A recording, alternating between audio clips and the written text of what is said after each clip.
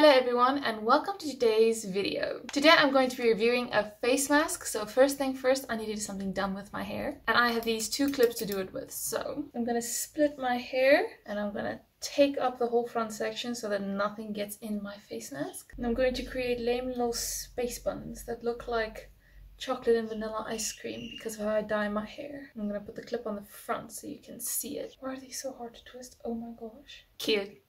So, what am I going to be wearing today? So I'm going to be trying out this squirt mask, this Quret mask, not the squirt mask. And it is a lifting care mask called Snail. And it says hashtag moisturizing and hashtag soothing. You can see the packaging is trying to be nice, sleek, and modern and appeal to more bougie people. We did a whole class on how like black packaging means like people like it. But anyways, but I got myself this one because moisturizing is a big deal to me because I am a very dry skinned person. And Aiden's going to do the collagen mask that says it's going to lift and glow. So here you go.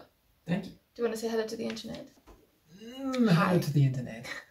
So I always forget to take a pretty picture of the packaging before I rip the thing open so that you can like actually see it on screen. So I'm gonna have to go Google and see if I can find it. But let's read what it says. It says the mask that provides plentiful nourishment and moisture for the skin, making skin elastic and glossy. What does tencel mean? Tencel. T-E-N-C-E-L. I have no idea. Tencel. It has a tencel sheet, which is the perfect skin fitting sheet. It has snail extract, which is pretty exciting, and obviously it's not vegan. But it says the rich nutrients that are glycolic acid and collagen, elastin in snail slime, help soothe damaged skin. Also, it soothes pores and maintains skin lifting. I feel like this was kind of just directly translated, especially since it does have the Korean at the top. But it's a pretty good job for someone that directly translated something. So elastin is the protein you have in your skin that gives it all its elastic qualities. That's why it can kind of stretch and bounce. Collagen is also a protein that makes up your skin. It is more of a structural component. And then glycolic acid is just something that's moisturizing and helps with hydration. It then also says Oriental Beauty Fruits Nuplex. This ingredient provides skin oil and moisture balance. I have no idea what that is. If I find out, I'll put it here. You're smarter than I am then, but like, interesting. So, how to use this product. It says, after cleansing, soothe your face with a toner. I did wash my face and do my whole skincare routine, so I'm good to go on that. Open the pouch and then apply it to your face. So let's do that. I'm gonna rip it open. Oh my gosh, it's one of those. It has little tabs, but it's not easy to rip. There we go. Uh, it has a sticker on this side saying it's a sheet mask. That's why I didn't want to open. So it's just this one thing. And then it just looks like a normal sheet mask in there. Nice and slimy. It smells like sunscreen, of all things. I was expecting to smell snail of some kind, but gonna lift it out. Nice and gooey. And now I want to unfold it without like squishing all the good juices out of it, which is always like the hardest part. That's that's not where it's supposed to go. Oh no, that's not it either. What?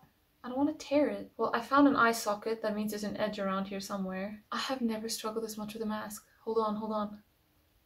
Ha! I found something. This thing is full, okay? It's pretty soaked, which is very nice actually. So there we get the full face mask. Need to put the other way around. And I am hoping it doesn't drip on me actually. And I'm gonna first put it in line with my eyes so that I can see. And it's nice and cold because I kept it in the fridge because it's summer and summer is warm. So I'm gonna smooth it out on my forehead first so okay, if it gets in my hair, I'm gonna wash my hair, pushing it in all the way around the sides, tucking it in around my nose. It's nice and refreshing. Flip the little nose flap down. Ha! I'm gonna try and tuck it in under my chin, or rather just under my lip.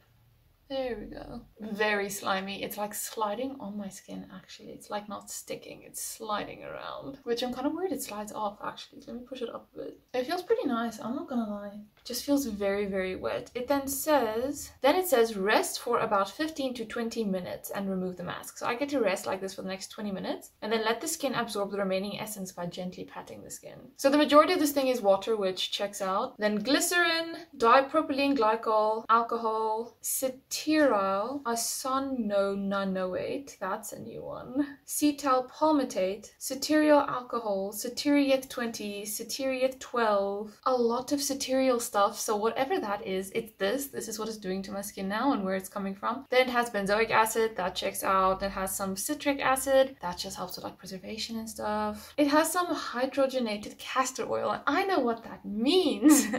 because I did food science here. If you hydrogenate an oil, you take the little chain that the oil is because it's a hydrocarbon chain, right? And then you break the double bonds between two carbons and you add hydrogens. That's how you hydrogenate something. And that changes the melting point of an oil because it's an oil at its melting point and below that it's like a solid fat. And if you hydrogenate something, you increase the melting point, which means it needs a higher temperature for it to be liquid. But I don't actually know what the melting point is for castor oil. Never looked at it. It has some anise in it and it has fruit extract, no further explanation. Snail secretion filtrate at a thousand parts per million. It has Punica granatum fruit extract, whatever that is. It also has Prunus mume fruit extract, some cross polymers, which just means it's big molecules that are cross-linked. Then has some xylitol that will give it like the thick feeling. That's why it's feeling like such a thick consistency and not like water. Xylitol is like a plant molecule that just helps thicken stuff up. You can also use it in like ketchup and stuff to get ketchup to the consistency that it is. Glucose, so there's some sugar on my face. There is some hyaluronic acid in here, but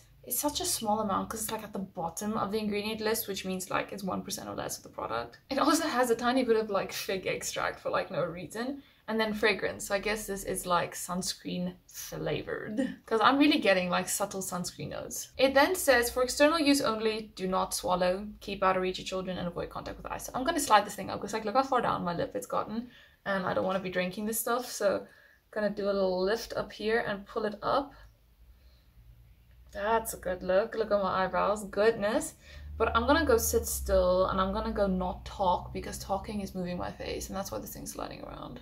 And then I'll see you again in a little bit. I am going to take the residue that's left in here and I'm going to put it on my hands. You can also put it on your chest, but I'm wearing a hoodie. But these snail juices are very good for anti-aging on your hands. Not that I think I need anti-aging. All the anti-aging stuff's trying to get you to look like me because I'm only 23. But I still want some. I think it could be nice.